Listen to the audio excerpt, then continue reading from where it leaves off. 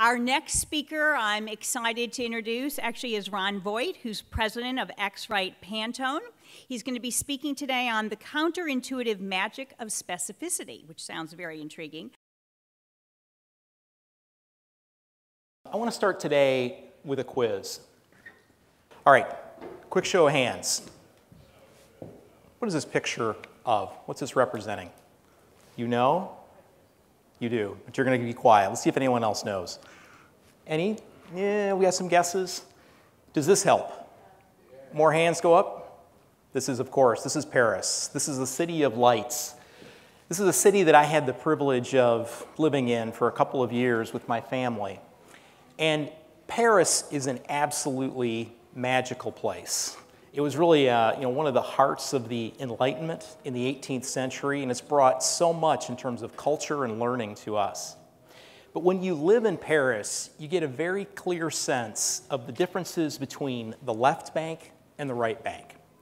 Now, the left bank is most closely associated with creativity. It is where the Latin Quarter is located. It's where the artistic hubs are of Paris. It's really where the creative community for over two centuries has been based. The right bank represents really what is more upright, or as Parisians might say, uptight about the city. It's where the financial institutions are located, it's where businesses are, it's really where business gets done. The left bank and the right bank are separated both physically and in a way metaphorically by the Seine, which is the river that flows through Paris.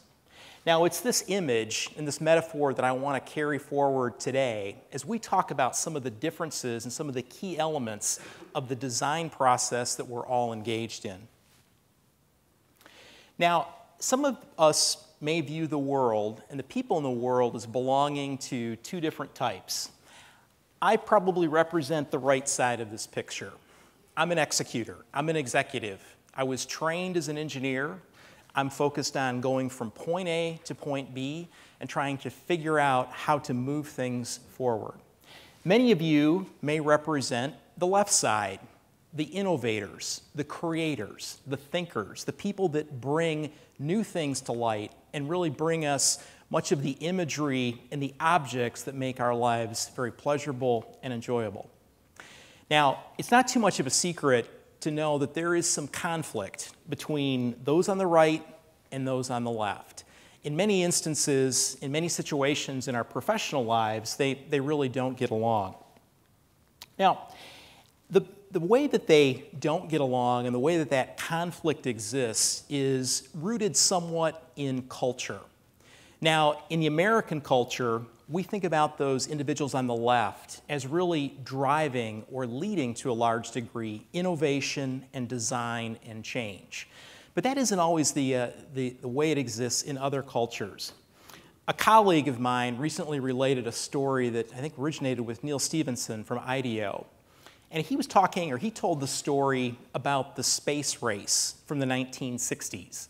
And uh, some of us in this room may date ourselves in a way to, uh, to go back to the 1960s. But the space race literally and figuratively consumed the attention of the Soviet Union and the United States in the 1960s.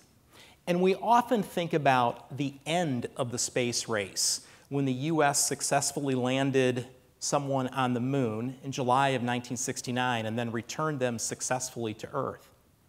But what is less known, or at least less talked about, about the space race is that the Soviet Union essentially led that race for most of the 1960s. They had the first object in orbit, they put the first man and the first woman in space in orbit and returned them successfully. And they were actually working on a moon landing when the US got there first. The difference is that the leader of the Soviet space program, Sergei Korolev, died unexpectedly in 1966. And his absence from that program really brought it, you know, frankly, to, uh, to almost a halt and allowed the U.S. to win. Now, Sergei was not a creative. He wasn't a person that was represented on the left side. He was a taskmaster who was almost militaristic in the way that he drove innovation and leadership for that program. The only reason I relate those, that quick story is to say that leadership as it exists or should exist doesn't necessarily lie on the left or the right. It comes down to the situation in which you're, uh, uh, the situation in which you're involved. All right, let's talk about something which is a little bit closer to home for most of us in this room. And that is the conflict that often exists between design and production. And to take that conflict a little bit further and talk about it, that left side, that focus on innovation, and the right side, the focus on execution, often has conflict as each side is trying to fulfill their needs throughout the process. That conflict starts at the very start of that process, and the differences between the left and the right, innovation and execution, can accelerate or become larger as time goes by. We think about that difference between the left and the right in terms of the workflow that people are engaged in as they bring a consumer product, for instance, to real realization, or a new packaging design from concept to reality. And we think that that left and the right is represented by the two sides that you see in this workflow. The left side represents concept and creation. It's where brands, where designers, where creatives are involved in thinking about the object or the good that they're working on, how they want that to be realized. On the right side, you have the processes of pre production and production, where those who are involved in execution are responsible to take that design concept or that thought and put it into production. What we found is that there is a roundabout between the left and the right that represents the inherent conflict between the interests of both of these groups. Designers and, creator, and creatives in the world of color want more colors represented on more substrates. They want more choice to represent the way that they're trying to bring something to light. On the right side, the production teams are worried about cost, they're worried about quality, they're worried about all of the things that come into actually producing the object. And between the left and the right in that roundabout, sits a tremendous amount of waste and really the loss of productivity as each side is forced to negotiate with the other to make the, the object flow through the workflow.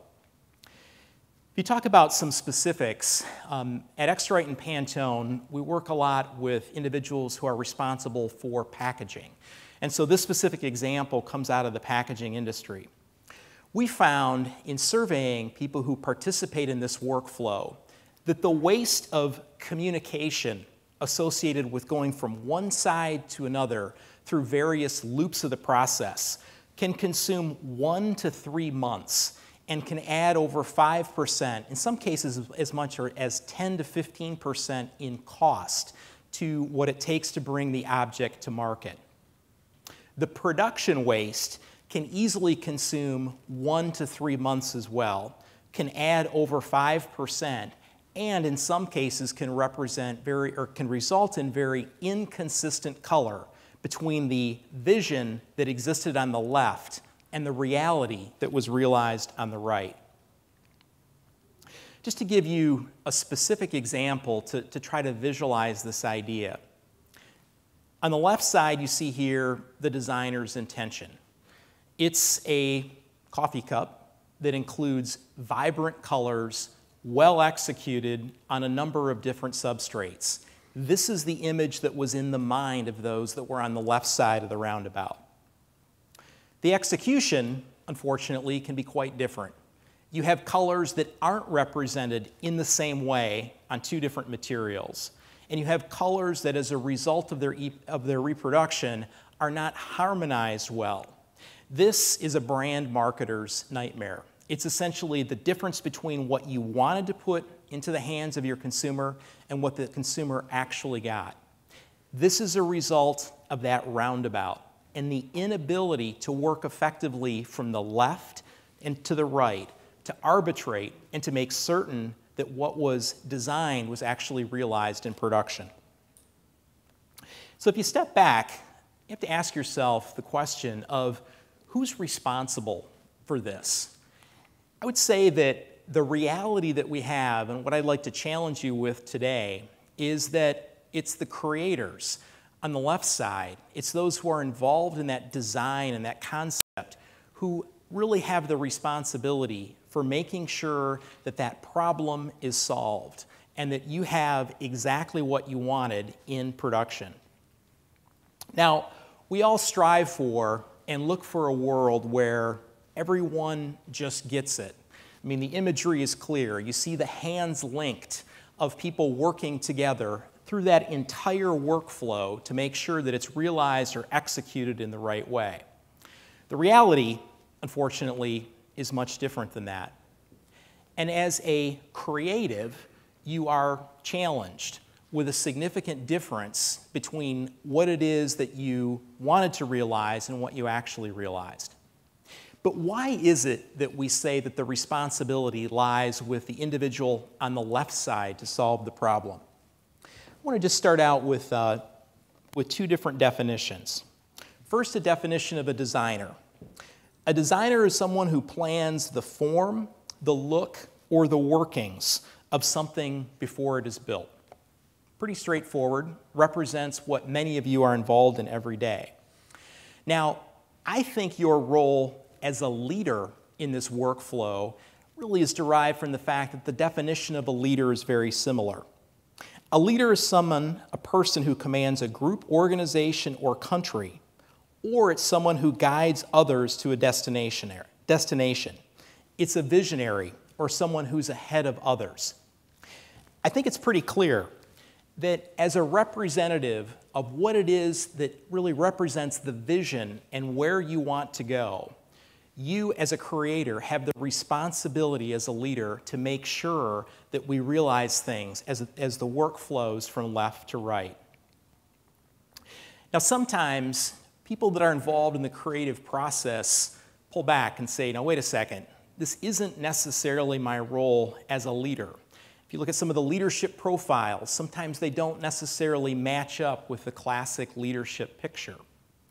In addition, from some of our work that we've done through the Pantone Color Institute and others, we found that as it relates to color, there's a gap in information and a gap of knowledge that gives people the capability to act as leaders through the whole workflow.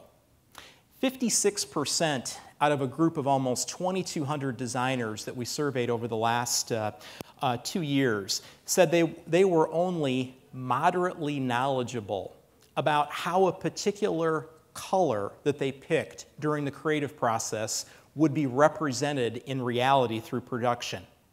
28% had little or no knowledge. Essentially, only 16% felt that like they had very, very good knowledge, which essentially leaves a population of 84% of the group that really need to be represented as the leaders who lack this information to represent color in the right way. So there's a significant challenge that's associated with this. Now, as a creative and as a leader in the process, your responsibility and the work product that you have is really putting specifications and driving specificity in the system as it relates to your vision. And I'd say that there are two elements of the specificity that are important for you to realize as you grab onto your role in the process. The first one is to be very, very concise. It's important to put your specifications into the most compact and easy to understand form that's possible. We heard just a few minutes ago about the, the PDF specification that was literally hundreds of pages long and that was out of date almost as soon as it was put into effect. Your role is to make sure that your, your specifications and your specificity is alive and concise. The second element, however, and an element where the tools that can be provided and that exist in the digital world can help you, is in the area of achievability. And it's being able to understand as you're going through the design process, as you're involved in the creative process, exactly how a color or some other element of your design will be represented in production. It's understanding and knowing enough about how things will actually be executed such that you can make the decisions upfront in the process. So, those two elements are really the elements that I want to leave you with with respect to your responsibilities as a leader. As you think about specificity, be concise and understand in a clear way what is achievable. On the first point, in terms of being concise, I want to just go back to, uh, to one of the most famous speeches in American history, the Gettysburg Address. Lincoln put forth a very, very compelling vision for where the country or where he thought the country should go after that terrible battle in that terrible war. It took him 272 words, and he spoke for just over two minutes to create a vision which at that time unified the country and in many respects continues to inspire us. What is somewhat less known is the person that immediately preceded Lincoln. A person, uh, his name is Everett, spoke for over two hours with 12,000 words in 62 paragraphs on what was essentially the same topic. But the specifics of what he said have been lost in time. And it was Lincoln's ability to be concise that really made his speech an icon and something that is translated even to today. We have to think about the same thing as we're working on design and as we're trying to put that into reality. Now, there's some tools and some things that we can use to allow ourselves to have much more specificity in the way that we bring objects to light. There are tools that have been a typical part of our toolbox, from color swatches, preferably from Pantone, to style guides, to product prototypes, all of the things that have existed for years in the analog world. But now, with the advent of the digital world, with mobile tools and technology, we have new tools that are available for the creatives and the design side of that workflow to make sure that color standards, for instance, are understood up front in terms of their achievability or their reproducibility on different substrates or different materials. There are brand microsites that drive us to specific specifications and definitions and can level the playing field and give everyone the basis of the same information. And finally, there are virtualization tools that exist now in the digital world that never existed before and that can help link or unify the workflow and make sure that that vision is indeed realized in reality. Now, as I talk to designers through our clients and through, uh, through brands, I hear a lot of pushback on some of the things that I've just told you about in terms of specificity and the importance of being concise and, and focusing on what is achievable in design. One of the pushbacks is in the area of cost, because there is a constant fear that by being too clear or too specific up front, you'll drive yourselves into a higher price solution that will work its way through to the end product that you produce. What we found through working with clients is that really the opposite is the case. If you are not specific up front, if you don't embrace the two points that I gave you earlier, you can find that that roundabout can consume loop after loop after loop and cost you time, money, and effort. In our surveys of designers, we found that 68% of them go through that roundabout at least three times as they go back and forth to production as they move to design. A full 18% of them go through the roundabout more than five times. Imagine what that can do to you with respect to cost and the penalty that you play for not being specific. Another pushback that we hear is that there is some fear that people don't necessarily want to commit they think that by committing, they're somehow penning themselves in too early in the process. But the real truth of specificity is that being specific as far up front as possible allows you to focus on unlocking your creativity and focusing on providing value through the confidence that you can give in design. Absent that specificity, you'll spend time in the roundabout and you'll take time away from the value add that you can provide to your clients and to their customers. Another fear or pushback with respect to specificity is that somehow by being overly specific and taking that leadership role, we risk falling into a tyrannical behavior or being viewed as being uh, too strong in terms of driving. The real answer here is that being specific puts you in a leadership position. Believe me, everyone that's involved with the, within the workflow wants to have as little involvement as possible in poorly defined specifications or going through that roundabout time after time after time. By being specific, you'll save time for yourself and for others and will be viewed as a leader in the context of the entire process. Finally, we hear that it really isn't worth it to get specific and that the time that's required to drive a level of specificity isn't worth the investment for individuals. But the truth is that by being specific in the process, you can allow your design to achieve portability, which gives you more time, again, to work on the value added elements of your job and to focus more on what's important as you think about creating a vision that you bring to your customers. So, at the end of the day, just imagine it. What if we all took a leadership role early in the process defined specifics with respect to our design parameters in a very concise way and with a view of what that entire workflow can actually achieve. My challenge to you is to first understand that this problem, this, or this, uh, this roundabout that consumes time and energy, it exists in every organization. And I would challenge you to think that it really does exist in your organization. The tools that are available to help you in this process, they exist. Don't think that your organization is perhaps too small.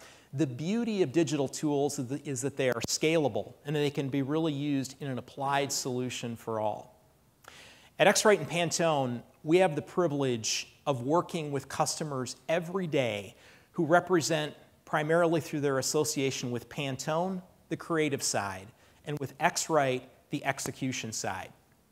We have the opportunity to see the waste that exists between those two sides. And I think that it's something that we can help you reduce, and together we can help all of us overcome. So appreciate your time today, and I wish you the best of luck with your design challenges and your execution challenges in the future. Thank you.